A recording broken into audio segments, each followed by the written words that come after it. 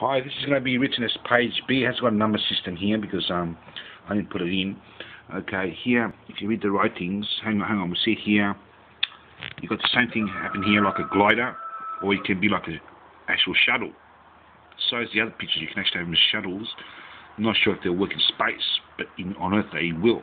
Uh, the first module will work in space though, and possibly this one as well. So you can have gliders like this, or you can have actually shuttles in space like this. You've got robots that can be program programmed to run the shuttle. Once technology increases to that level, you may have it today, I don't know. You can have boats, you can have cars, or whatever equipment you want, food, supplies, whatever, water, put, okay? So is the other shuttles, obviously, okay? So we read this information.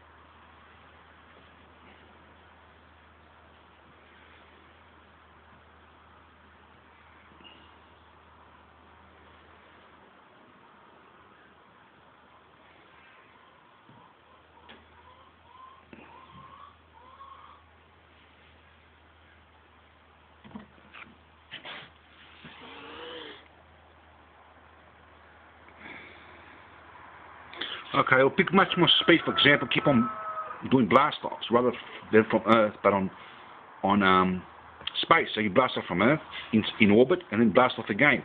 As many as required, will pick up enormous speed that way. Anyway, be careful you don't crash into any planets. But anyway, or any things.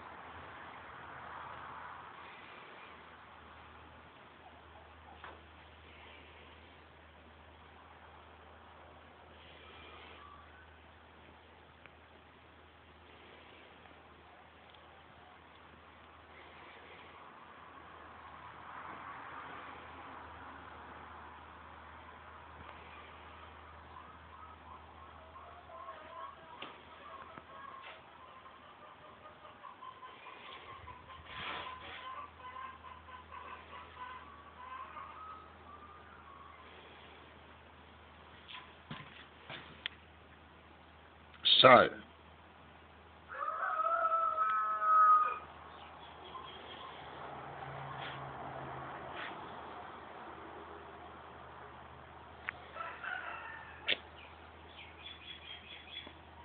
the next videos are scriptures and um, uh, messages relating to what's going on in a lot of detail.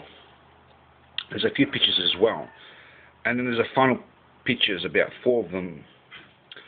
Uh, we'll see what happens when we get there.